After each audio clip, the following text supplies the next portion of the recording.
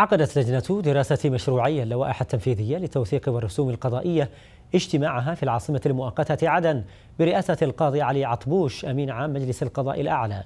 رئيس اللجنة وتطرقت اللجنة لمناقشة اللوائح المنظمة لقوانين التوثيق والرسوم القضائية وإجراء التعديلات المناسبة عليها. وتهدف التعديلات لتحسين كفاءة النظام القضائي وحماية حقوق الأفراد ومعالجة الثغرات وتحقيق الشفافية والعدالة وضمان الامتثال للقانون. وتأتي اجتماعات اللجنة المشكلة من مجلس القضاء الأعلى في سبيل تحسين جودة الخدمات المقدمة للمواطنين ورفع كفاءة النظام القضائي والقانوني.